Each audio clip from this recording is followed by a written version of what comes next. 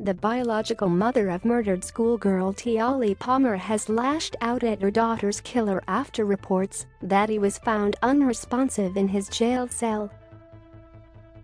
Rick Thorburn, the Queensland man serving a life sentence for the murder of his 12-year-old foster daughter, was found unconscious in his cell at Wolston Correctional Centre in Brisbane on Tuesday morning.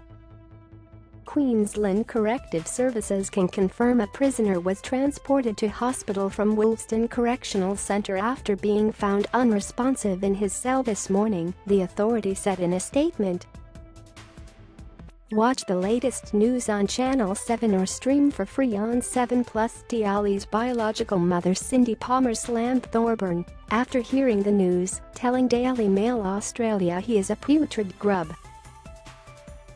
Initial advice is that the 62-year-old man appeared well earlier in the morning, however was found unresponsive in his cell at about 8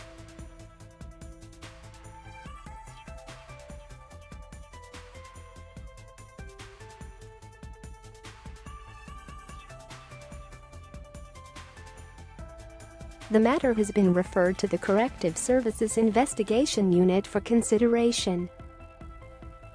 A similar incident occurred two years ago, when Thorburn was taken to hospital in a critical condition after being found unconscious in his cell. Thorburn is serving a life sentence for murdering Logan girl Tiahleigh, aged 12, in 2015. He dumped her body in a Gold Coast river in 2015 after his son Trent confessed to sexually assaulting her. Last year, Thorburn told an inquest into Tiahleigh's death that he accidentally suffocated her when she tried to leave home after a row.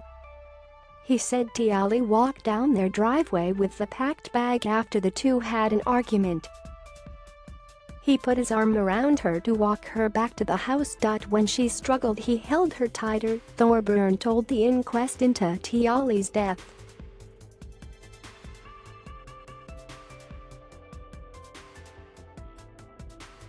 He let Tiahleigh go when they got to the veranda, and she fell to the ground.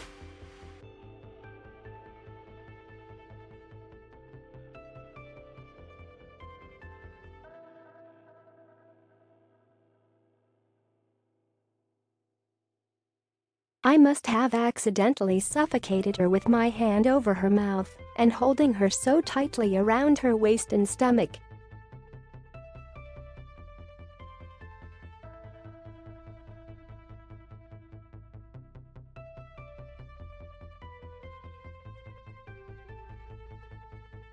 With Pop. And finally, thank you all for watching the video.